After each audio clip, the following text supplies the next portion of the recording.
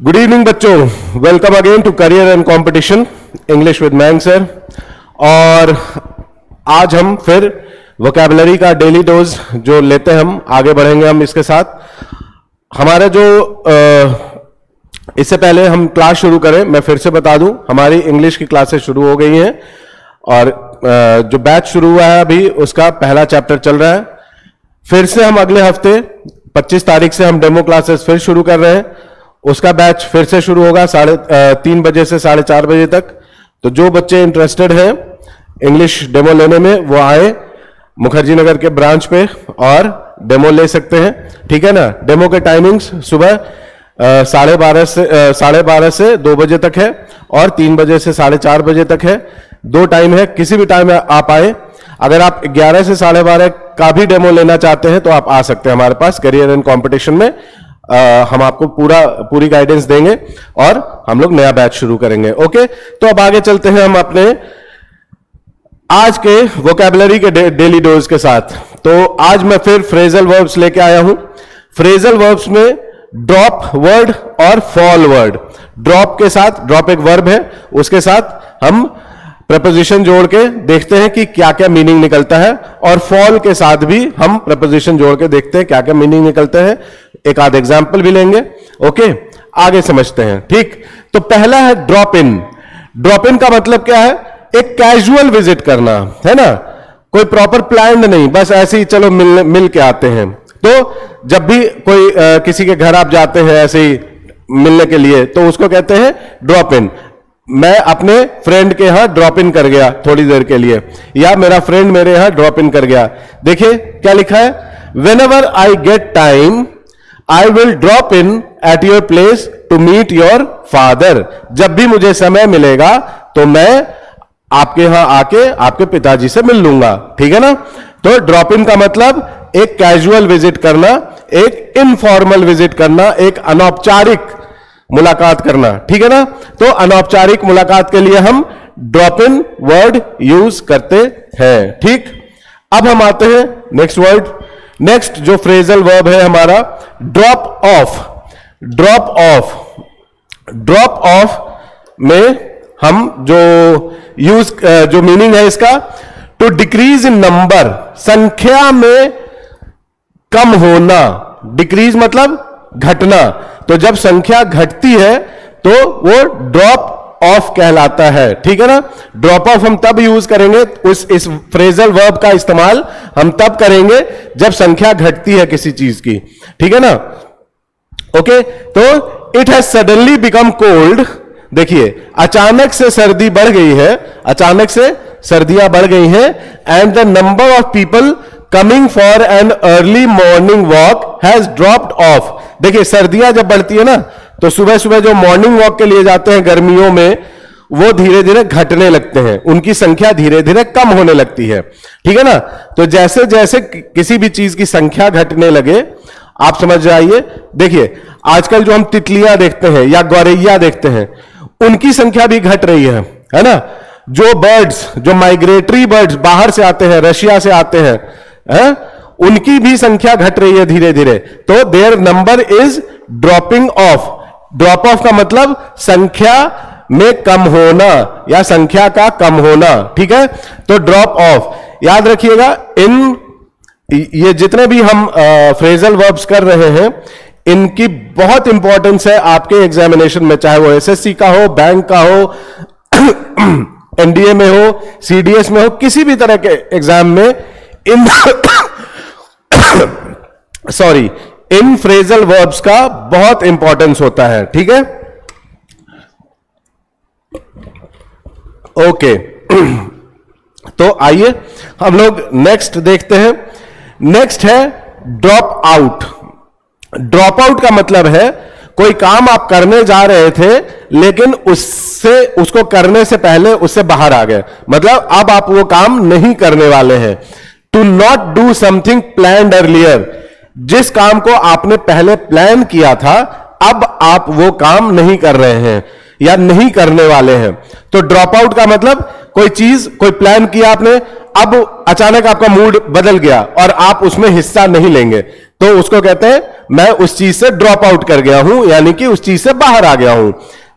As the half marathon progressed जैसे जैसे half marathon you know marathon होते हैं, बहुत सारे, बहुत तरह के मैराथन होते हैं। तो मैराथन जो होता है, जिन बच्चों को नहीं पता है, उनको मैं बता दूँ, फुल मैराथन 42 किलोमीटर का होता है और हाफ़ मैराथन 21 किलोमीटर का होता है। ओके तो जैसे जैसे हाफ़ मैराथन आगे बढ़ा वैसे वैसे कुछ लोग उससे बाहर होते चले गए।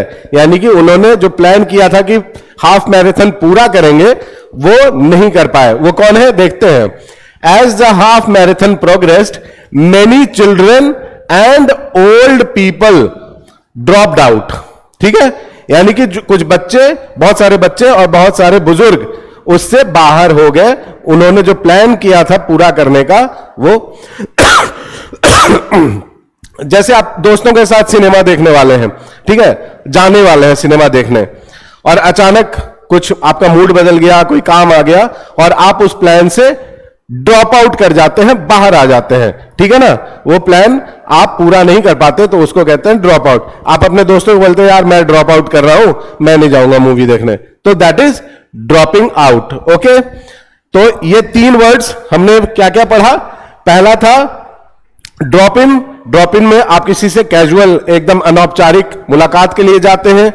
दूसरा है ड्रॉप ऑफ़ यानी कि संख्या में घटना संख्या का कम होना और तीसरा है ड्रॉप आउट यानी कि कोई चीज़ जो आपने प्लान किया था वो आप आप नहीं कर रहे हैं तो उसको कहते हैं ड्रॉप आउट ठीक?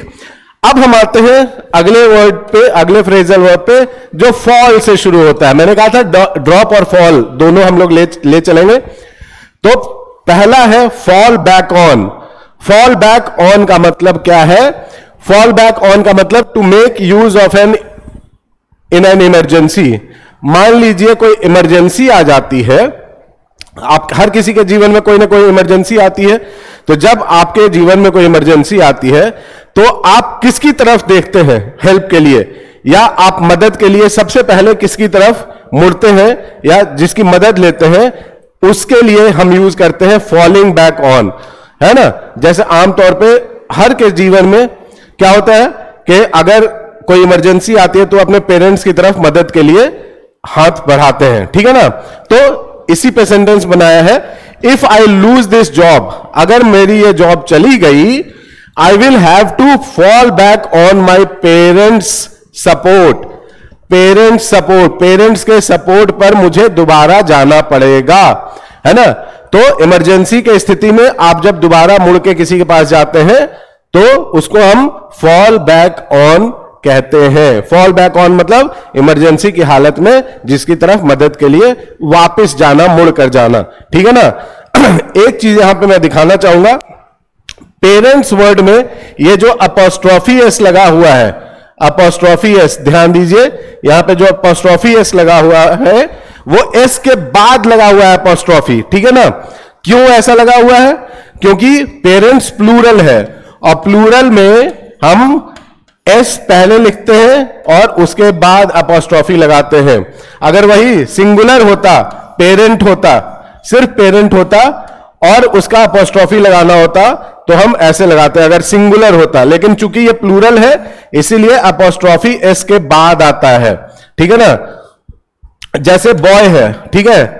बॉयज़ बॉयज़ फुटबॉल अगर बहुत सारे बच्चों का, बहुत सारे लड़कों का फुटबॉल है प्लूरल में है ये तो बॉयज़ फुटबॉल ऐसे लिखेंगे। और अगर एक लड़के का, एक लड़के का फुटबॉल है तो हम ऐसे लिखेंगे। ठीक है? बॉयज़ फुटबॉल सिंगुलर में हम अपोस्ट्रॉफी पहले लगाते हैं एस बाद में लगाते हैं प्लूरल में हम एस पहले लगाते हैं अपोस्ट्रॉफी बाद में लगाते हैं। ठीक है? तो ये हमने एक्स्ट्रा आपको बता दिया। अब हम आते हैं fall back on to make use of in an emergency एक किसी इमरजेंसी में मदद लेना या उसका प्रयोग करना। ठीक है ना? अब हम आते हैं फॉल ऑफ़ फॉल ऑफ़ के दो मीनिंग है। पहला टू विड्रॉ टू विड्रॉ मतलब पीछे हट जाना। टू विड्रॉ मतलब पीछे हटना। पीछे हटना। ठीक है? पहला मीनिंग इसका सेंटेंस देख लेते हैं। Friends fall off in adversity adversity का मतलब होता है बुरा दिन। जब भी किसी के बुरे दिन आते हैं तो कुछ दोस्त ऐसे होते हैं जो हमेशा पीछे हट जाते हैं, मदद के लिए आगे नहीं बढ़ते। सिर्फ़ जो सच्चे दोस्त होते हैं, वही आपकी मदद करते हैं। ठीक है ना? तो वैसे ही दोस्त आपके जीवन भर आपके साथ रहते हैं। तो ये सेंटेंस है फ्रेंड्स फॉल ऑफ़ यानी कि वो पीछे हट जाते हैं विदड्रॉ कर जाते हैं। है ना? पीछे हट जाते हैं। दूसरा meaning to drop off drop off मतलब कम हो जाना, गिर जाना। गिरना मतलब गिनती में in numbers to drop off in numbers ठीक है? उसमें हम यूज़ करते हैं फॉल ऑफ़ का। जैसे देखिए sales have been falling off recently Corona के बाद अगर हम देखें तो कई बिजनेसेस के सेल्स जो है, एकदम नीचे की तरफ़ गिर गए हैं। है ना? कम हो गए हैं। इसीलिए सेंटेंस बनाया गया कि sales have been falling off recently sales जो है, आजकल के दिनों में घटते चले जा रहे हैं। ठीक है ना? तो फॉल ऑफ़ का मतलब संख्या में कम होना। ठीक है ना? संख्या में गिरना। स्पेशली नंबर्स की बात हो रही है। ठीक है? तो फॉल ऑफ़ का मतलब दो मीनिंग एक पीछे हट जाना और दूसरा संख्या में कम होना। ठीक है? फिर आते हैं फॉल आउट फॉल आउट का मीनिंग झगड़ा करना या बहस करना। टू आर्ग्यू या क्वारल क्वारल का मतलब है झगड़ा करना, बहस करना आर्ग्यू का मीनिंग भी वही है। मारपीट नहीं है यहाँ पे, सिर्फ़ बाता बाती बहसा बहसी की बात है। ठीक है?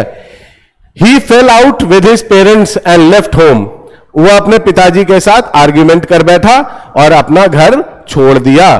तो फॉल ऑफ़ का मतलब क्या होता है? फॉल आउट का मतलब क्या होता है? फॉल आउट का मतलब होता है कॉरल करना आर्ग्यू करना, यानी कि झगड़ा करना, ठीक है? फॉल आउट मतलब बाहर, एकदम, खत्म। बहसा बहसी कर लेना, ठीक है ना? तो बहसा बहसी करके, बहस करके, झगड़ा करके, और घर छोड़ दिया उसने, ठीक?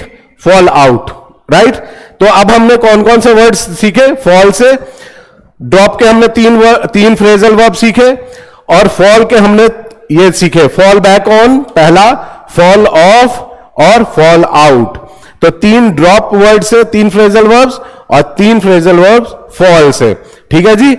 तो इन छह वर्ड्स को, देखिए, छोटा सा वीडियो मैंने जानबूझ के बनाया ताकि आप छह वर्ड्स याद रख सके, उनके सेंटेंसेस बना सके, उन पे ध्यान दे सके। तो आप लोग इन सबको याद करिए या आपके जीवन में, देखिए एक एक नंबर एसएससी में बहुत इंपॉर्टेंट होता है। ठीक है ना? एक एक नंबर एसएससी में इंपॉर्टेंट होता है। और एक नंबर भी आपका कम है तो आप हज़ारों की संख्या में पीछे जा सकते हैं। आपका जो रैंकिंग होगा, वो एक एक नंबर से ही बनता और बिगड़ता है। तो आप इन, इनका ध्यान रखें, इनको याद करें सेंटेंसेस में यूज़ करें क्वेश्चंस में ढूंढें। जो क्वेश्चंस आप बनाते हैं सेट्स बनाते हैं, उनमें आप ढूंढें और फिर उनको यूज़ करें, ठीक है? तो यहाँ पे हमारी क्लास जो है, खत्म होती है। आप जुड़े रहिए इंग्लिश बाय मैंग सर और हम लोग इसी तरह से आपका वो कैब थोड़ा थोड़ा करके धीरे धीरे करके और बहुत बढ़िया कर देंगे। ठीक है? Thank you very much have a nice evening keep safe keep healthy thank you